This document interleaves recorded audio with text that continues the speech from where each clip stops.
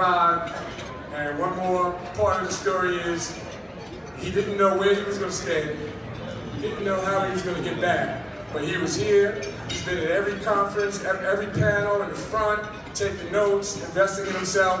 And if you're here, I think you're here, Raheem, please stand up. We want to give you a round of applause because you really embody what this conference is all about.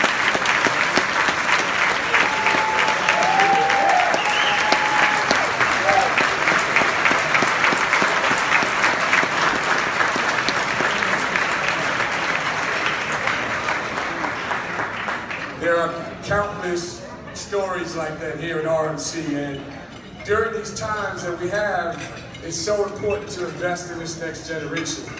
Uh, one of the uh, things I've been proud of uh, doing, uh, along with uh, Mr. Combs, is opening the charter school that we opened this year. And just seeing the faces of young people getting an opportunity, seeing the faces of young people getting